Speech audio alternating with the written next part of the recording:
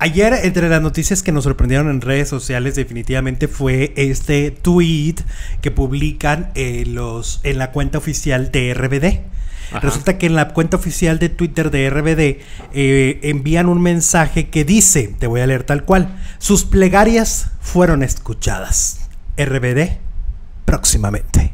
¿Qué tal? ¡Pum! ¿Quién volverá? ¿Todos? ¡Pum! ¡Pum! Mira, según yo sé, no es un reencuentro.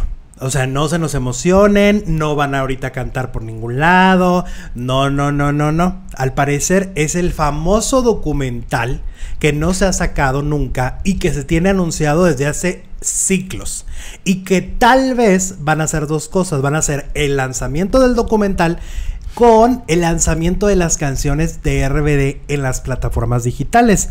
Porque tú sabrás que si buscas, no están en. Spotify y no están en ningún Bueno, lado. nunca las he buscado, no sabía. No están.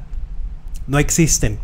Entonces, ¿Y eso como por? no se sabe. No se sabe con quién fue el pleito, no se sabe, porque acuérdense que muchas de las veces tras bambalinas se viven juicios o pleitos legales que desconocemos. La industria está llena de esos pleitos, ¿eh?